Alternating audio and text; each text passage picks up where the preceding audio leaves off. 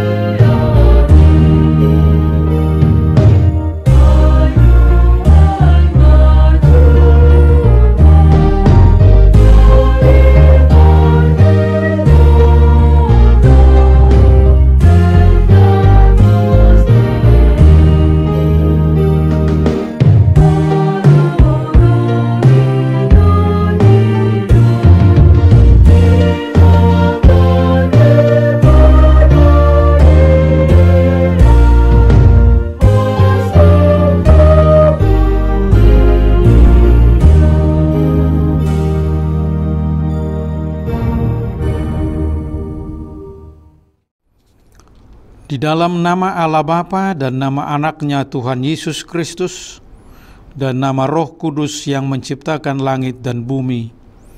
Amin. Demikianlah firman Tuhan Allah. Kamu akan kuberikan hati yang baru dan roh yang baru di dalam batinmu. Dan aku akan menjauhkan dari tubuhmu hati yang keras, dan kuberikan kepadamu hati yang taat rohku akan kuberikan diam di dalam batinmu, dan aku akan membuat kamu hidup menurut segala ketetapanku dan melakukannya. Haleluya!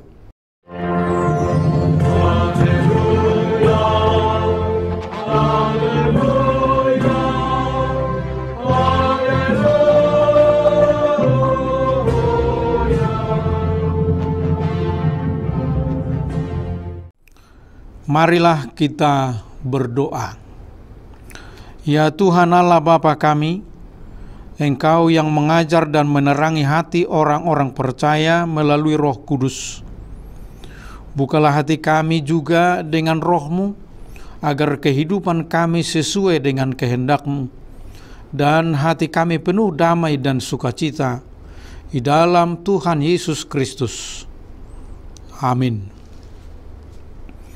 Kita bernyanyi dari buku Ende nomor 105 ayat 1 Roma Todi Parbadia.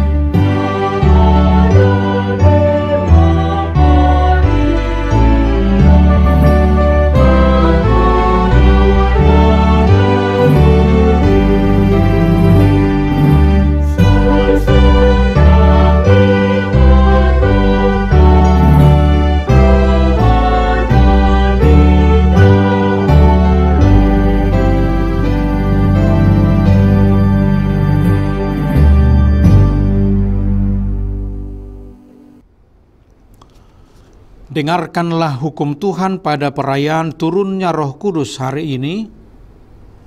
Tertulis dalam Konfesi HKBP tahun 1996 pasal 1b bagian yang ketiga tentang Allah Roh Kudus. Allah Roh Kudus adalah penyataan Allah melalui rohnya. Di dalam kepribadiannya, ketritunggalan Allah, Roh Kudus bekerja bersama Allah Bapa dan Allah Anak dari sejak awal sampai selama-lamanya.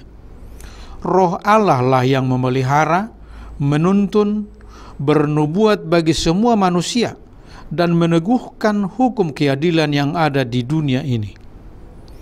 Dialah yang menyampaikan firman dan wahyu dari Allah. Roh Kuduslah yang meneruskan pekerjaan Yesus Kristus di dunia ini untuk memanggil, mengumpulkan, menyatukan orang percaya menjadi persekutuan atau okumene koinonia, menggalakkan kesaksian atau marturia, dan pelayanan atau diakonia, dan yang menguduskan gereja melalui kabar baik. Roh Kuduslah yang mengajar dunia ini tentang dosa, kebenaran, dan hukum. Dialah yang memeteraikan keselamatan orang percaya, membuat orang bertobat, menerangi, membaharui kepribadian, menuntun manusia kepada kebenaran, mengajar manusia memuliakan Allah, dan menyediakan senjata roh bagi orang percaya. Dengan ajaran ini, kita menekankan bahwa Roh Kudus hanya satu, itulah Roh Kudus. Dialah yang menjadikan kabar baik menghasilkan buah dan yang mendirikan gereja di dunia ini. Roh Kudus bekerja dari dirinya sendiri tanpa kuasa manusia. Dialah sumber dari segala pekerjaan besar atau mujizat yang memuliakan Allah. Ajaran yang mengatakan Roh Kudus sama dengan roh-roh lain yang ada di dunia ini ditolak dan menolak segala bentuk kerasukan roh, apakah itu upaya penjagaan diri manusia secara sadar ataupun yang lahir dari ketidaksadaran. Demikian juga ajaran yang mengatakan bahwa orang yang dipenuhi roh tidak perlu bertobat. Kita juga menolak bahasa asing atau glosolalia yang tidak dapat dimengerti orang yang menjadi pemicu keributan dalam persekutuan orang percaya. Semua karya besar yang tidak memuliakan Allah bukanlah berasal dari Roh Kudus, bukan karya besar yang menjadi ukuran iman maka itu harus ditolak. Marilah kita meminta kekuatan dari Tuhan. Ya Tuhan Allah, kuatkanlah kami melakukan yang sesuai dengan hukum-Mu. Amin. Kita bernyanyi dari buku Ende nomor 688 ayat 2. Tuhan.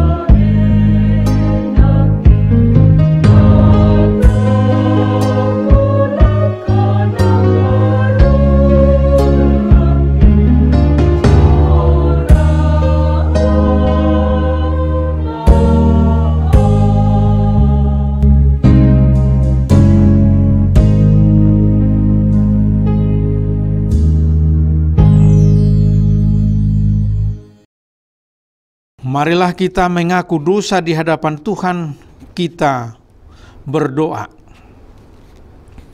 Ya Allah Bapa kami yang di surga, pada perayaan hari turunnya Roh Kudus ini, kami datang ke hadapanmu mengaku dosa kami.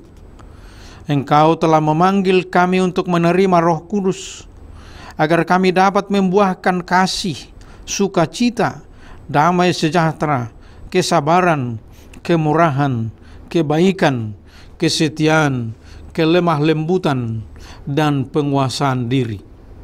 Namun kami masih terpengaruh pada keinginan daging dan hidup menurut hawa nafsu dan keinginan daging yang bertentangan dengan rohmu.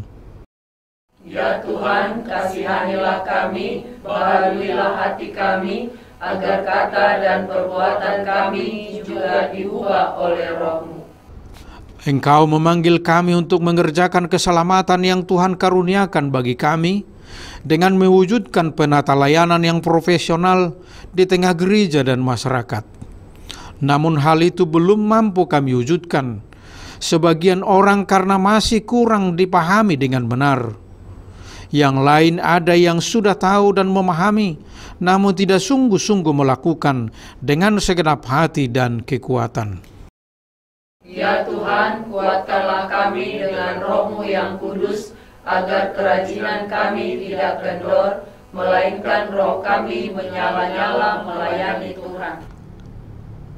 Karuniakanlah roh kudus bagi kami untuk memberi kekuatan, keteguhan, dan ketetapan hati, supaya iman kami tidak tergoyahkan. Bimbing dan ajarlah kami ya Tuhan, agar kami benar-benar dan sungguh-sungguh menyerahkan diri, hati, dan jiwa kami kepadamu saja, sebagai korban yang hidup dan kudus, oleh sebab anakmu, Yesus Kristus Tuhan kami. Amin.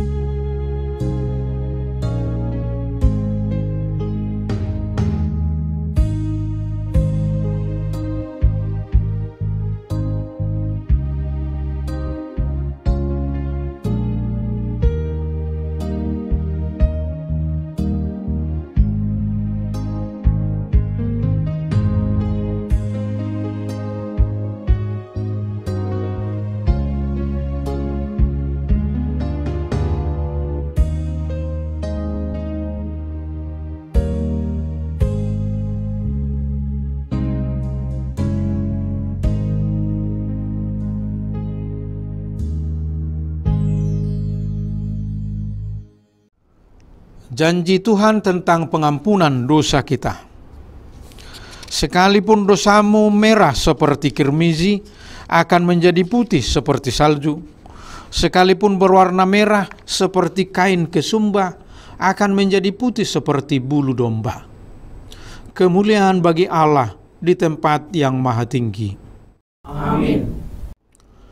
Kita bernyanyi dari buku Ende nomor 104 ayat 6, Bongo Tima Rohaku.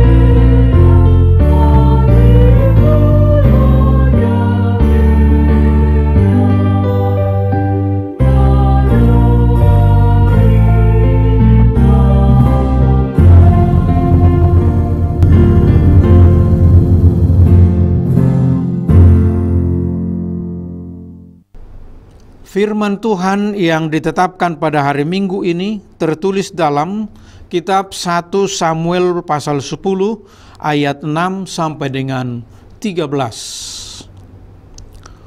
Maka roh Tuhan akan berkuasa atasmu. Engkau akan kepenuhan bersama-sama dengan mereka dan berubah menjadi manusia lain. Apabila tanda-tanda ini terjadi kepadamu, lakukanlah apa saja yang didapat oleh tanganmu, sebab Allah menyertai engkau. Engkau harus pergi ke Gilgal, mendahului aku, dan camkanlah Aku akan datang kepadamu untuk mempersembahkan korban bakaran dan korban keselamatan. Engkau harus menunggu tujuh hari lamanya sampai aku datang kepadamu dan memberitahukan kepadamu apa yang harus kau lakukan. Sedang ia berpaling untuk pergi meninggalkan Samuel, maka Allah mengubah hatinya menjadi lain dan segala tanda-tanda yang tersebut itu terjadi pada hari itu juga. Ketika mereka sampai di Gibea dari sana, maka bertemulah ia dengan serombongan nabi. Roh Allah berkuasa atasnya, dan Saul turut kepenuhan seperti nabi di tengah-tengah mereka. Dan semua orang yang mengenalnya dari dahulu melihat dengan heran bahwa ia bernubuat bersama-sama dengan nabi-nabi itu. Lalu berkatalah orang banyak yang satu kepada yang lain, Apakah gerangan yang terjadi dengan anak Kis itu? Apa Saul juga termasuk golongan nabi? Lalu seorang dari tempat itu menjawab, Siapakah bapa mereka? Itulah sebabnya menjadi peribahasa apa Saul juga termasuk golongan nabi? Setelah habis ia kepenuhan seperti nabi, pulanglah ia. Demikian firman Tuhan. Berbahagialah orang yang mendengar firman Allah serta memeliharanya. Amin. Kita bernyanyi dari buku Ende nomor 107 ayat 1. O todi perbadiai saya masuk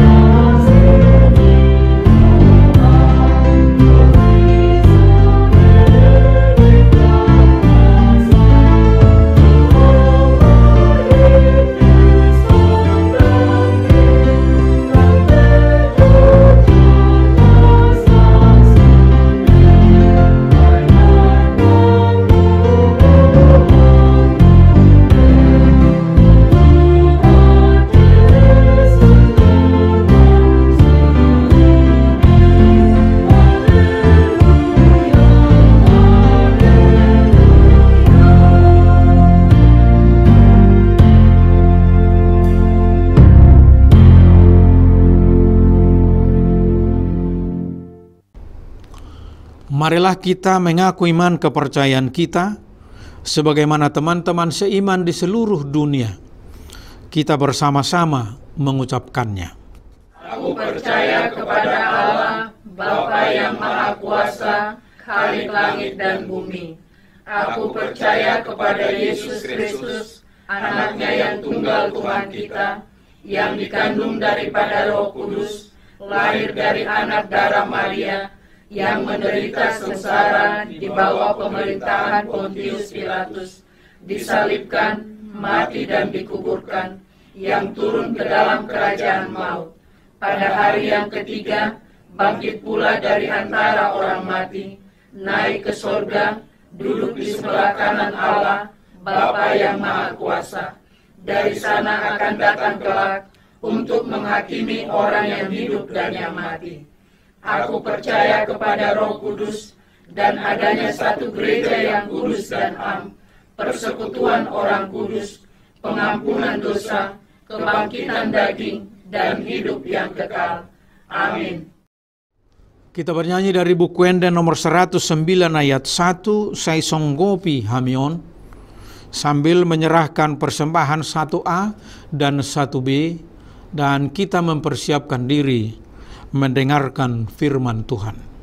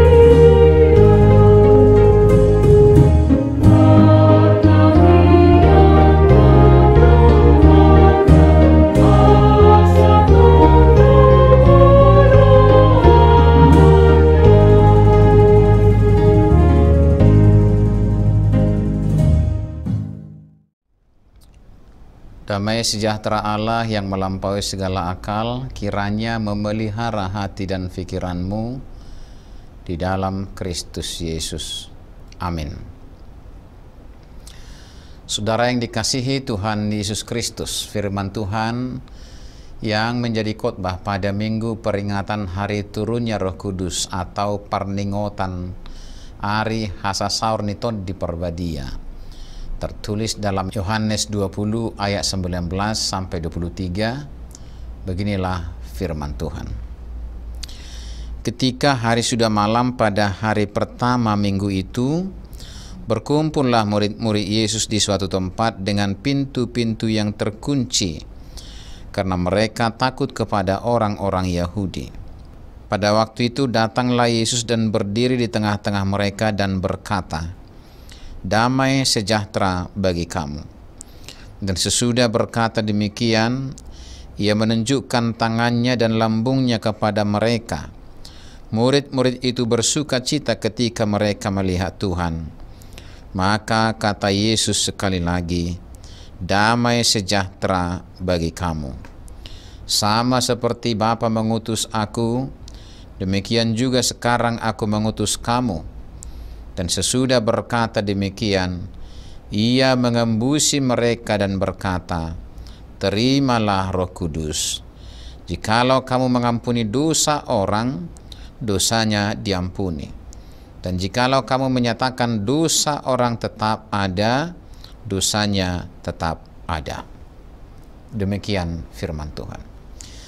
Saudara yang dikasihi Tuhan Yesus Kristus, Minggu Pentakosta hari ini diterangi tema atau topik terimalah roh kudus.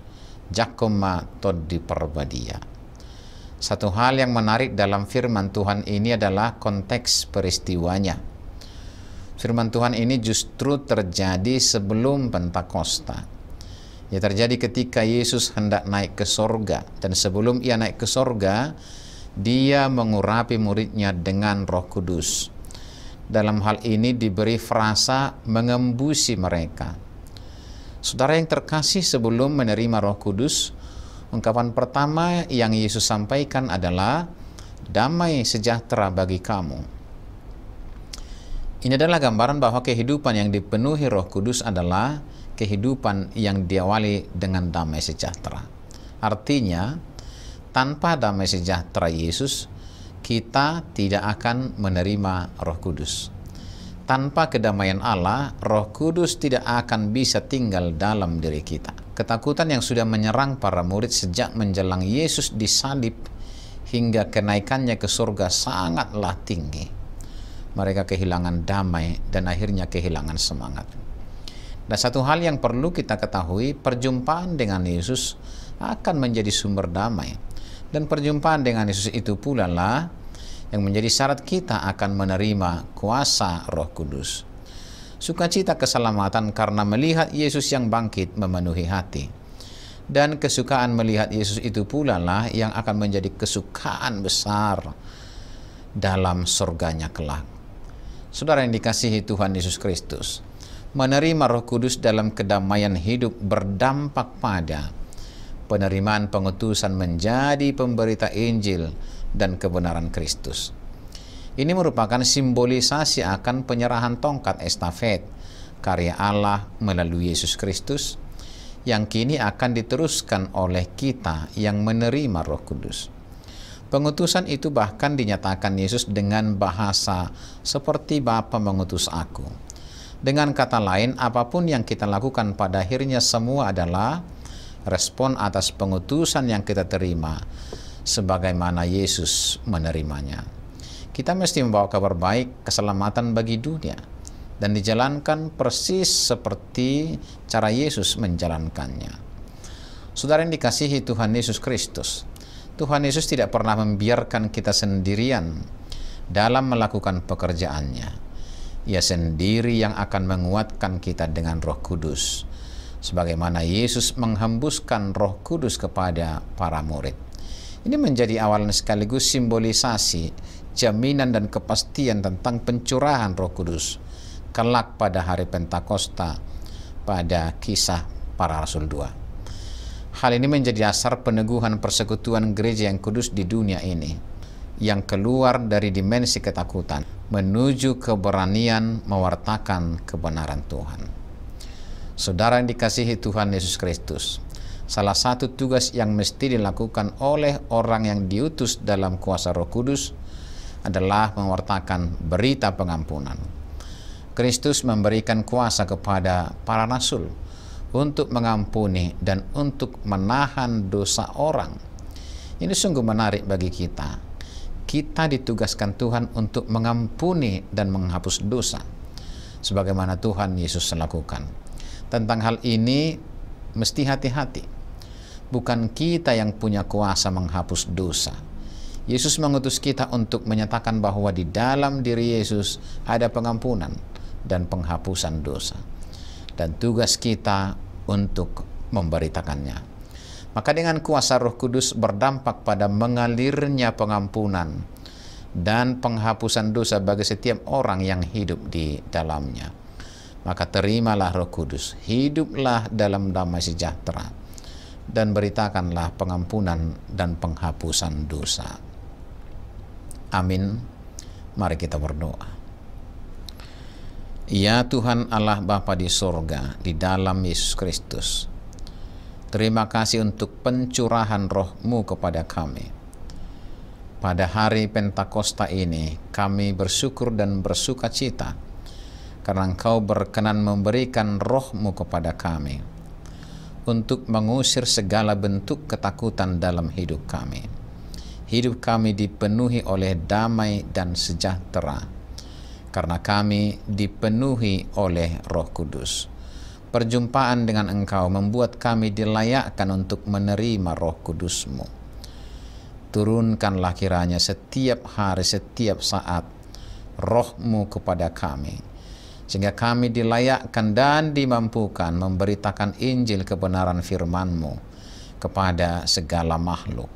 Dalam pada itu pula, kami memberitakan pengampunan dosa, dan pemberitaan akan kemurahanmu, keselamatan yang kusediakan bagi orang-orang yang mau menerima kuasa roh kudus.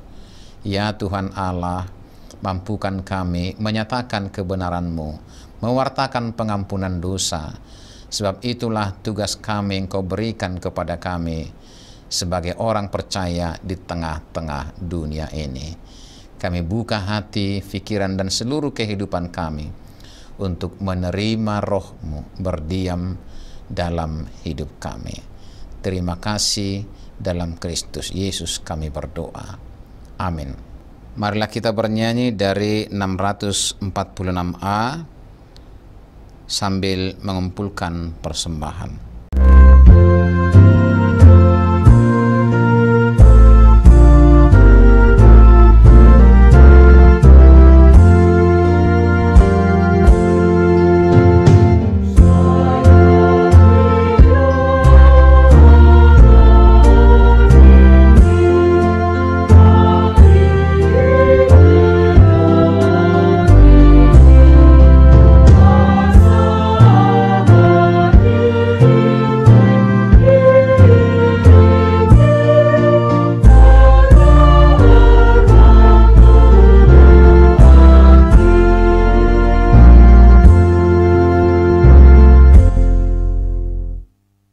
Marilah kita berdoa untuk menyerahkan persembahan kita kepada Tuhan.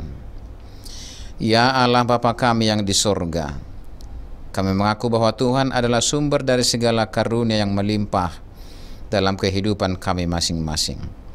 Sebahagian daripada karunia itu kami serahkan kembali sebagai persembahan kepada Tuhan. Terimalah dan berkatilah persembahan umatmu ini, agar dapat kami pergunakan untuk pekerjaan dan pelayanan kerajaan Tuhan di dunia ini. Bukalah hati kami untuk mengenal betapa banyak berkat dan karunia yang kami peroleh dari Tuhan, supaya kami senantiasa bersyukur kepadamu di dalam nama Yesus Kristus Tuhan kami. Amin.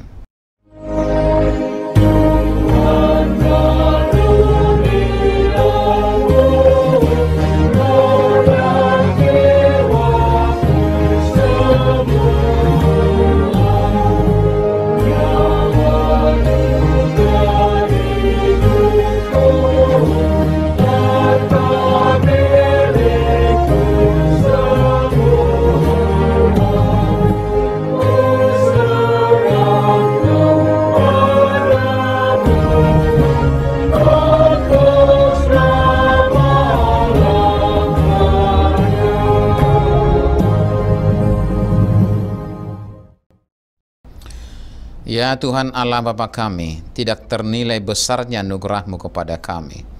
Karena roh kudus engkau menganugerahkan kepada kami orang yang hina ini. Pemberianmu melebihi dunia dengan segala isinya. Kami berterima kasih dan memuji namamu karena kebesaran dan kemuliaan yang kau nyatakan kepada kami. Curahkanlah roh kudus kepada jemaatmu, orang-orang percaya yang setia dan taat kepada Yesus Kristus Tuhan kami agar kami diajar, dipimpin, diterangi, dan dikuduskan serta dikuatkan untuk menghayati firman-Mu. Ya Roh Kudus, persatukanlah jemaat yang Kau pilih, agar saling menerima dan saling mengasihi selaku anggota tubuh Kristus yang kudus. Sinari dan terangilah hati kami, agar kami mengenal segala dosa dan kesalahan kami, dan agar kami setiap hari disucikan, dan diperbaharui serta layak bersekutu di dalam jemaatmu yang kudus dan am. Tolonglah kami agar tetap menyadari bahwa kami telah diperdamaikan dengan Allah. Dengan penuh keyakinan kami dapat berseru, Bapa kami di dalam Tuhan Yesus Kristus. Limpahkanlah rupa-rupa karunia kepada jemaatmu, agar semakin bertambah banyak pemberita Injil, pengajar, dan yang rela mengasihi sesamanya manusia. Terangi dan berkatilah persekutuan orang Kristen di gedung gereja, di sekolah, dan di rumahnya masing-masing, agar mereka sadar akan persekutuan di sorga kelak. Bangunkanlah orang yang tertidur, dan berilah kekuatan kepada orang yang lemah. Sadarkanlah orang fasik dan tegar hati, supaya mereka bertobat dan meninggalkan kejahatan mereka. Berilah hikmat kepada orang yang rendah hati, dan hiburkanlah orang yang sengsara dan menderita, agar mereka tidak dicemoohkan di dunia ini. Lindungi dan tinggallah bersama orang yang teraniaya karena iman kepada Kristus, agar mereka tidak khawatir akan bagaimana dan apa yang harus mereka katakan. Bimbinglah pemerintah, penguasa, dan raja, agar mereka bertindak adil dan takut akan hari penghakimanmu kelak. Kuatkan iman kami agar kami selalu yakin bahwa segala dosa kami telah diampuni dan kami akan engkau antar kepada hidup yang kekal. Teguhkanlah pengharapan yang hidup di hati kami, agar kami yakin bahwa walaupun sesudah kulit tubuh ini sangat rusak, tanpa daging pun, kami akan melihat Allah yang membangkitkan kami kembali di dalam Yesus Kristus Tuhan kami. Amin. Bapa kami yang di sorga, dikuduskanlah namamu, datanglah kerajaanmu, jadilah kehendakmu di bumi seperti di sorga. Berikanlah kami pada hari ini makanan kami yang secukupnya, dan ampunilah kami akan kesalahan kami, seperti kami juga telah mengampuni orang yang bersalah kepada kami.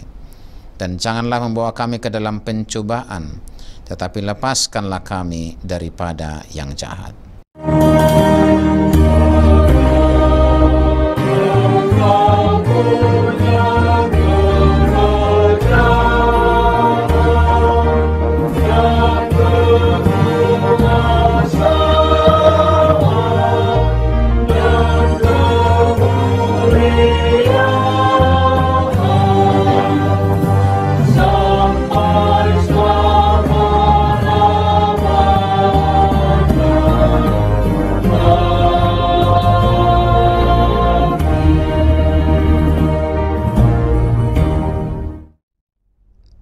Terimalah berkat Tuhan.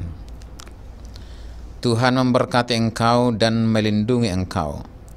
Tuhan menyinari engkau dengan wajahnya dan beri engkau kasih karunia. Tuhan menghadapkan wajahnya kepadamu dan memberi engkau damai sejahtera.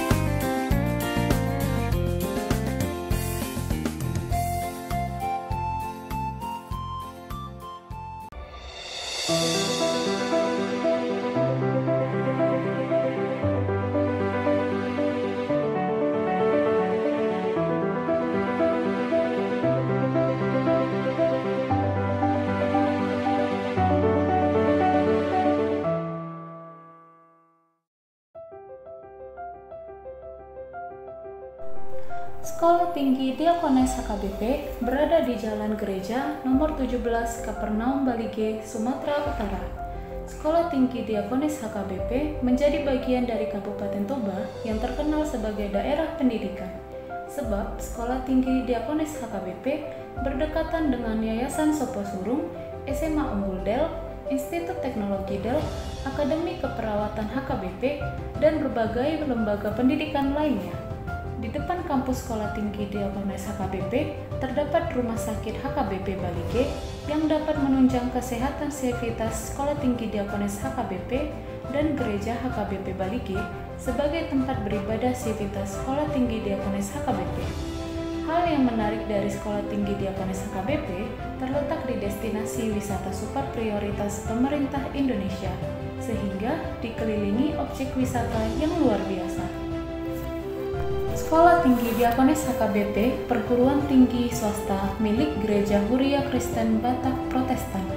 Didirikan pada tanggal 17 Mei 1971 sebagai kursus diakones. Tahun 1972, kursus diakones berubah menjadi pendidikan diakones HKBP. Sejarah pendidikan pun mencatat pendidikan diakones HKBP terus berkembang hingga pada tanggal 8 Mei 2013, pendidikan Diakones HKBP berubah menjadi Sekolah Tinggi Diakones dengan program Strata 1 atau S1 program studi konseling pastoral yang terakreditasi baik. Begitu juga dengan Sekolah Tinggi Diakones yang terakreditasi baik. Dua tahun terakhir ini adalah tahun yang berat bagi kita semua, termasuk Sekolah Tinggi Diakones HKBP namun, kita bersyukur bahwa Sekolah Tinggi Diakonis HKBP dalam melaksanakan pembelajaran daring telah berusaha untuk menghadirkan infrastruktur yang baik. Sehingga Sekolah Tinggi Diakonis HKBP tetap menjaga kualitas pendidikan, penelitian, dan pengabdian kepada masyarakat dengan baik, agar kehidupan memanusiakan manusia tetap terpelihara di tengah-tengah jemaat dan masyarakat sebagaimana visi Sekolah Tinggi Diakonis HKBP menjadi saluran berkat di tengah-tengah jemaat dan masyarakat. Program studi konseling pastoral ialah program studi yang bertujuan untuk mendampingi, menolong, memberdayakan, dan memelihara kehidupan jemaat dan masyarakat secara holistik. Oleh karena itu, guna melahirkan para lulusan yang berhikmat, bermutu, dan berkualitas, maka Sekolah Tinggi Diakones HKBP memfasilitasi mahasiswa secara akademik dan non-akademik. Secara akademik, mahasiswa memperoleh pendidikan yang berfokus di bidang teologi, sosial, kesehatan, dan psikologi. Sementara secara non-akademik, mahasiswa dibekali dengan berbagai keterampilan untuk meningkatkan soft skills guna menunjang pelayanan konseling pastoral yang berdiakonia. Dalam rangka pembelajaran perkuliahan, dosen menciptakan berbagai metode mengajar yang menarik, relevan, dan menggunakan teknologi. Demi mendorong dan mendukung visi, misi, tujuan, sasaran, serta proses belajar mengajar, maka Sekolah Tinggi Diakonis HKBP memiliki sarana dan prasarana yang memadai yang dapat menunjang kegiatan mahasiswa mulai dari akademik maupun non-akademik.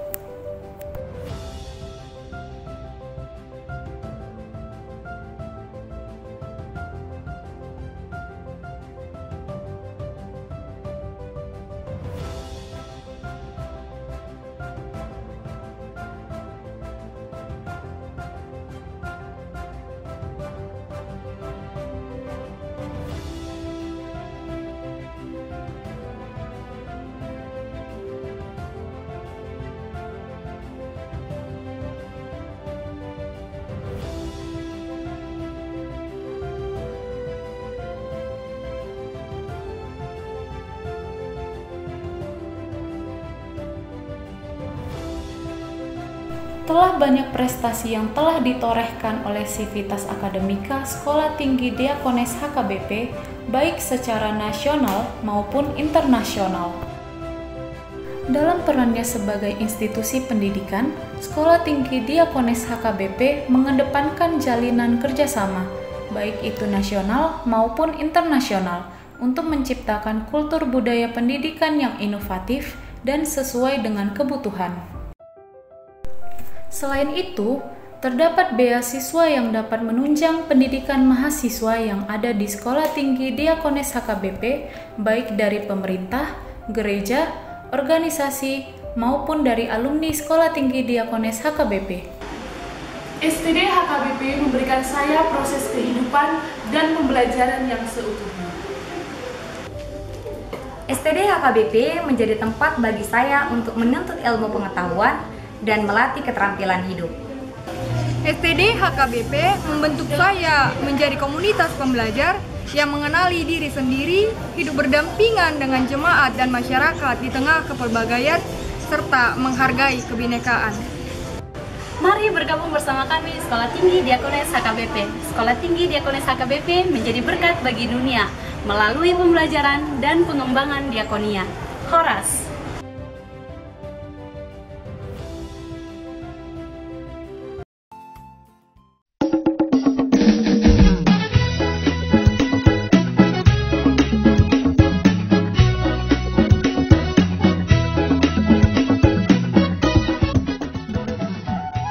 HKBP menetapkan tahun 2023 ini sebagai tahun profesionalisme dalam penata layanan yang menjadi orientasi dalam seluruh dimensi dan aras pelayanan HKBP.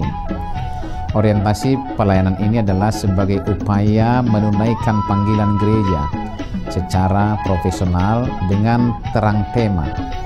Kerjakanlah keselamatanmu dengan takut dan gentar dari Filipi 2 ayat 12 dan subtema mewujudkan penata layanan Hajuara Bagason yang profesional di tengah-tengah gereja dan masyarakat demi pelayanan jemaat dan penata layanan keuangan untuk menjadi gereja lebih mandiri, berkeadilan, bersukacita, dan meneladani Kristus. Untuk mendukung pelaksanaan tema dan subtema itu, HKBP Distrik 8 DKI Jakarta telah membentuk panitia tahun profesionalisme dalam penata layanan di HKBP Distrik 8 DKI Jakarta yang akan bertugas menerjemahkan orientasi pelayanan itu melalui program-program unggul dan prioritas demi kualitas pelayanan di segala aras. Program unggulan dan prioritas didesain dalam bentuk pembinaan, pelatihan, pendampingan, hingga penguatan bagi para pelayan tahbisan, pelayan non-tahbisan, dan seluruh warga jemaat. Sehingga melalui program tersebut akan tercipta penata layanan menuju aktivitas gereja yang kokoh dan solid melaksanakan tugas panggilannya dalam dimensi koinonia, marturia, dan diakonia yang penuh dedikasi dan tanggung jawab. Profesionalisme dalam penata layanan bukan hanya menyangkut kemampuan tata kelola dan manajemen administrasi dan keuangan, namun juga akan menyasar penguatan interaksi dan relasi yang saling peduli dan saling melayani di tengah kehidupan warga HKBP. Maka sebagai bagian dari upaya menyukseskan program pelayanan yang akan dilaksanakan pada tahun profesionalisme dalam penata layanan HKBP di Distrik 8 DKI Jakarta. Kami mengajak seluruh warga HKBP Distrik 8 DKI Jakarta, para pemerhati dan juga simpatisan untuk memberikan dukungan penuh melalui doa, daya, dan dana sehingga orientasi pelayanan ini berbuah baik demi kemuliaan nama Tuhan. Tuhan Yesus memberkati kita semuanya. Horas, horas, horas.